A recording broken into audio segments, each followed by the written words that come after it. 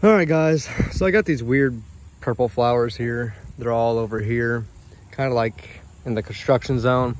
You can see that thing does not look so good. It has a busted part. It's been busted out for a little while now. The It's dropping down and stuff like that.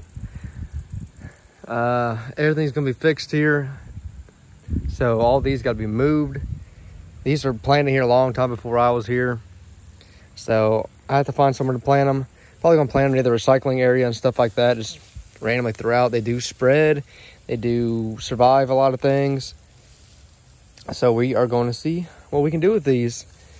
It is uh, October 2nd, so it should be a good time to transplant them somewhere.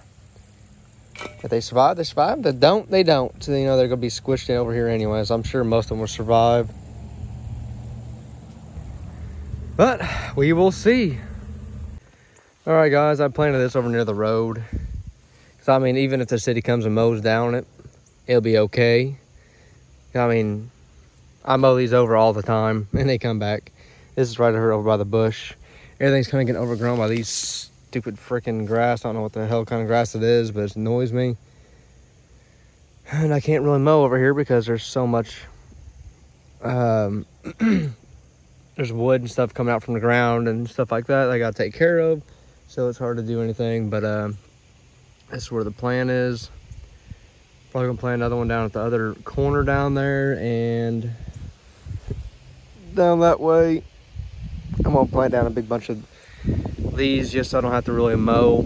It could be these things and if the city wants to keep them down, they can mow them down. All right, I need to get back to work, guys. Well, somehow the whole thing came up. It's just all one friggin' root system here. So, I'm gonna have to move this whole thing somewhere. Oh boy. All right, guys. Here it is. it's been all beat to hell and everything else. If it was any other kind of plant, I'd say it wouldn't survive. But this thing comes back from everything I, have run it over. I've mowed it down. How many freaking times it comes right back up. And it's right down the way from uh, that one up there. As you can see here. This is a lot bigger piece. This is like the main system here. I had a azalea plant planted here, but it did not make it. I'm right next to the road, so most things don't really make it over here. See, it's all kind of over overgrown right now too. but uh, hopefully this thing will make it so I don't have to mow over here anymore. At least on this spot. And hopefully it'll take over everything else. I'm just trying to get it to where there's flowers over here instead up near the house.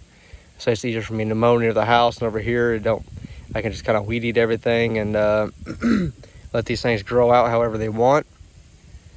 Because if they overtake everything down here, it's better. But if it takes to up over everything at the house, you know, it gets too close to the house and everything else. So I think they do pretty good down here.